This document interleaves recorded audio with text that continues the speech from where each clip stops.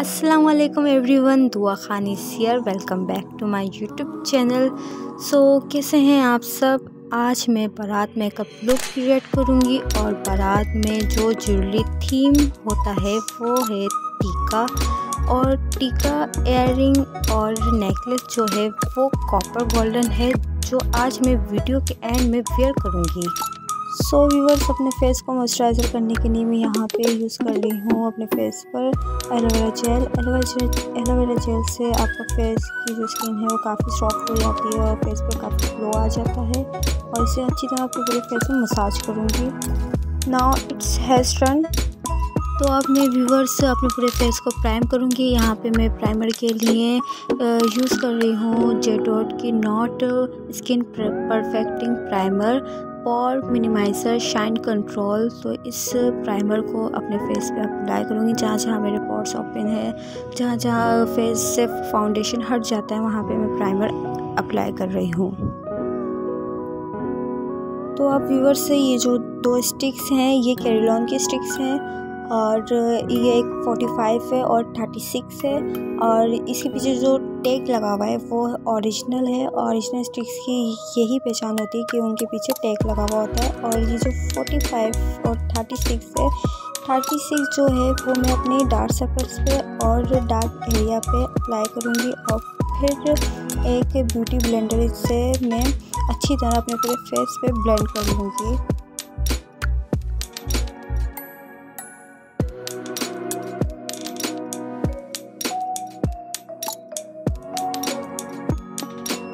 Okay viewers अब मैं कैरिलॉन की स्टिक 45 अपने पूरे फेस पे अप्लाई कर रही हूँ और ब्यूटी ब्लेंडर से इसे अच्छी तरह पूरे फेस पे ब्लेंड करूँगी और जैसे कि सलोन्स में भी ऑल ऑल वेडिंग इवेंट्स में यही कैरिलॉन की स्टिक लगाई जाती है।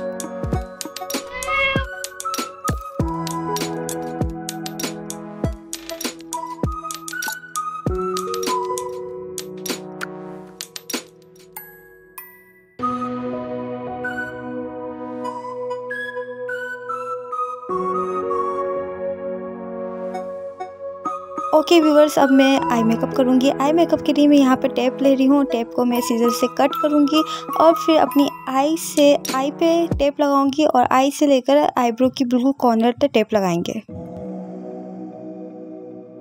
जी व्यूवर्स अब हम आई मेकअप के लिए यहाँ पे जो मैं आई शेड पैलेट यूज़ कर रही हूँ, वो है B N beauty next thirty nine eye shade thirty nine colours eye shadow palette इसमें से मैं सबसे डार्क ब्राउन जो शेड है, वो मैं अपनी आई की क्रीज लाइन पे अच्छी तरह ब्लेंड करूँगी।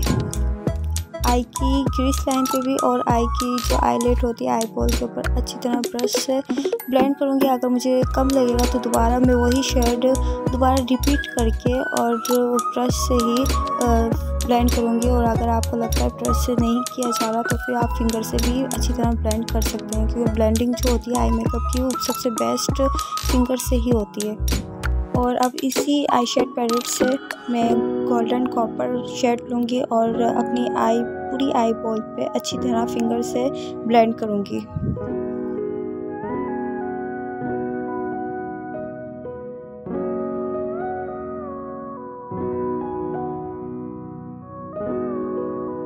और व्यूवर इसी आई शर्ट पैलेट से मैं ब्लैक शर्ट ले रही हूँ और अपनी आई से क्लॉस करूँगी और इसे विंग लाइनर की तरह, जैसे कि विंग लाइनर हम लगाते हैं तो इसे मैं सिर्फ़ ब्लैक शर्ट लूँगी और इसे अपनी आई से क्लॉस करके टैप के टैप के ज़रा सा ऊपर अपने फिंगर को ब्लेंड करती हूँ जैसे हम विंग लाइनर लगाते हैं तो वैसे ही सिंपल सा एक स्ट्रेट लाइनर की तरह ज़रा सा शर्ट लगाना है। और फिर आपका बिल्कुल ये जो ब्लैक कलर का शेड है, ये विंग लाइनर की तरह लग जाएगा।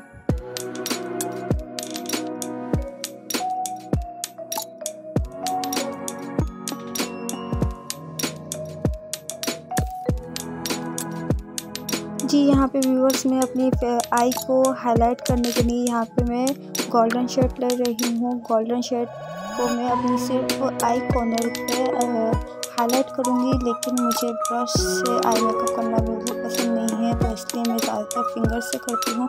तो फिंगर से ज़्यादा ईजी हो जाता है तो मैं यहाँ पे अपने आई को हाईलाइट करने के लिए फिंगर से हाईलाइट कर रही हूँ। जी व्यूवर्स अब मेरे पास जो है, वो है क्यूट सी आई शेड्स हैं। ये हैं क्राजा की, और इसमें तीन आई शेड होते हैं। इसमें जो पीच शेड है, वो मैं अपने अपनी आई पे अप्लाई करूँगी, क्योंकि जो मेरी आइज़ है, वो बहुत ज़्यादा गोल्डन दिख रही थी तो मुझे इतनी गोल्डन नहीं अच्छी लगती। तो मैंने सोचा कि इसमें जो पीच शेड है, वो हल्का सा मैं अपनी आई पे टचअप कर लूँ, अपनी दोनों आइज़ पे, ताकि वो जो गोल्डन है, वो ज़्यादा शॉफ नहीं हो, और वो पीस गोल्डन और पीच खूबसूरत कलर्स बन जाता है शेड मतलब के हो जाता है तो बहुत अच्छा लगेगा। और ये जो शेड तीन शेड मैंने जो लिए हैं, इनका नाम है क्राजा क्राजा की है और ये मैंने मेकअप सिटी से बाई की थी। और अब मैं ये टैप हटा रही हूँ और आप देख सकते हैं मेरा आईलाइनर शेड कितना खूबसूरत लगा है। बहुत अच्छा लग रहा है, मुझे बहुत खुशी हुई कि ये जो शेड लगाए बिल्कुल ऐसा लगा है, मैंने आईलाइनर लगाया, लेकिन आईलाइनर नहीं था ये मैंने शेड लगाया और शेड से ही विंग लाइनर बनाया तो आप ऐसा आप कर सकते हैं। फिर हम व्यूवर्स अपने आइज़ पे कंसीलर अप्लाई कर रहे हैं। कंसीलर यहाँ पे मैं मिस रोज़ का अप्लाई कर रही हूँ और अपने आई शेड विंग लाइनर जो मैंने लगाया है शेड से, इसे नीट एंड क्लीन करने के लिए मैं ताकि वो इम्प्रूव होए तो इसलिए मैं कंसीलर अप्लाई करूँ। वैसे कंसीलर अप्लाई करने की ज़रूरत नहीं थी, लेकिन जो मैंने शेड्स अप्लाई करे हैं अपनी आइज़ पे, उन्हें वो बिल्कुल एकदम इम्प्रूव हो, इसलिए नीट और क्लीन हो। तो इसलिए मैं कंसीलर अप्लाई किया है और कॉर्नर से आप देख सकते हैं मैं कितनी अच्छी तरीके से अप्लाई कर रही हूँ और ब्यूटी ब्लेंडर से ही कर रही हूँ। इसे अच्छी तरह बहुत ध्यान से आप अपने आई के पास अच्छी तरह ब्लेंड करें।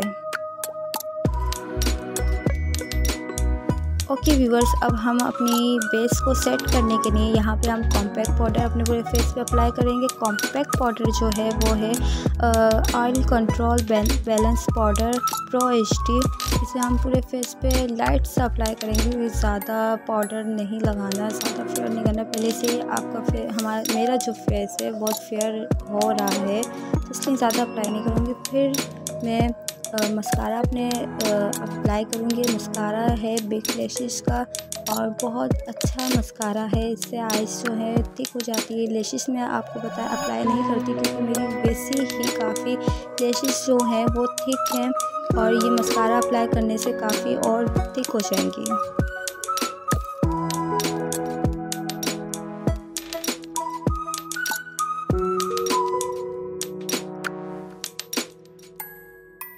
और फिर अब हम आईब्रो सेट करेंगे। आईब्रो सेट करने की वजह से मुझे नीट नहीं है लेकिन मैं फिर भी आ, सिर्फ़ आगे से आईब्रो अपनी सेट करूँगी। तो आईब्रो सेट करने के लिए पहले ब्रश करूँगी। ब्रश करने के बाद पेंसिल से एक लाइन ड्रॉ करूँगी और फिर दोबारा वही ब्रश करूँगी।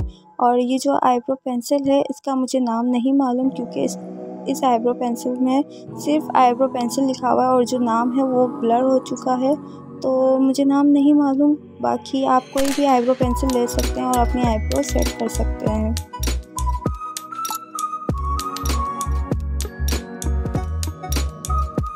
और फिर व्यूवर्स अब हम लिपस्टिक लगाएँगे लेकिन लिपस्टिक लगाने से पहले आ, लिप की आउटलाइन ज़रूर बनाएँ। आउटलाइन के लिए यहाँ पे खुदा ब्यूटी की आउटलाइन ले रही हूँ। ये कलर है पर्पल। लाइट पर्पल तो नहीं डार्क पर्पल है लेकिन पिंक पर्पल सा ये कलर है। और लिपस्टिक लगाने से पहले हम आउटलाइन बनाएँगे और फिर आपको लिपस्टिक लगा के बताते हैं। सो so, व्यूवर्स ये जो लिपस्टिक है ये ऑरेंज है और ऑरेंज जब मैंने अपने लिप पे ये लिपस्टिक लगाई तो ये काफ़ी डार्क थी और इसलिए मैं अपने लिप पे जो लिपस्टिक जो है मैं फिंगर से लगाने लगी ताकि फिंगर से ब्लेंड करूँ तो काफ़ी लाइट कलर आएगा। लेकिन ये जब मैं फिंगर से अपने ब्लेंड करने लगी लिप पे तो ये रेड कलर लगा मुझे। तो कोई बात नहीं, अच्छी बात है रेड डार्क कलर रात में अच्छा लगता है। तो ये अच्छी लग रही तो मेरे लिप्स काफ़ी ख़राब हो गए थे तो इसलिए मैं दोबारा से आउटलाइन लगाई और दोबारा से अपने लिप्स सेट करे। और इस लिपस्टिक का मुझे नाम नहीं पता क्योंकि इसका नाम ब्लर हो चुका है। फिर मैं ब्लश अप्लाई करूँगी, अपने फेस पे ब्लश है जेनिफर पाउडर स्लिक ब्लशेस इसमें चार शेड हैं और मुझे समझ में नहीं आ रहा था कि मैं कौन सा शेड अपने फेस पे अप्लाई करूँ तो मैंने सोचा जो सबसे लाइट है ब्लश वो अप्लाई करूँ, क्योंकि काफ़ी डार्क लिपस्टिक है मेरी और आई मेकअप भी हुआ हुआ है तो इसलिए मैंने जो लाइट शेड है वो अपने फेस पे चिक्स पे अप्लाई करा ब्लश और फिर तीनों शेड को वो, तीनों शेड को मिक्स करके फिर मैंने ब्लश अप्लाई किया।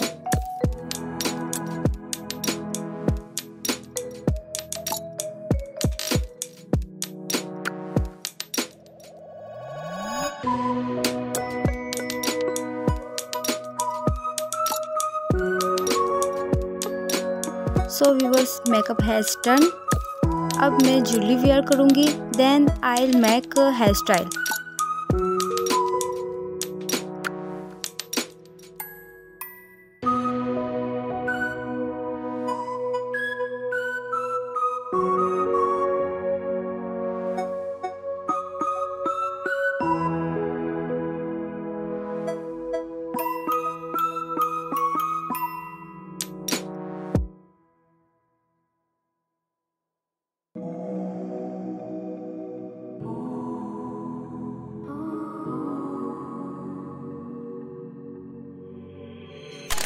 I get ready for attend Bharat.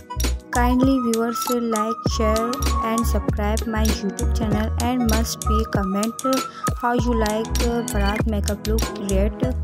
I am very respect to senior YouTuber. I am younger YouTuber so kindly support me. Allah Hafiz Jazakallah. May Allah bless you and yours family.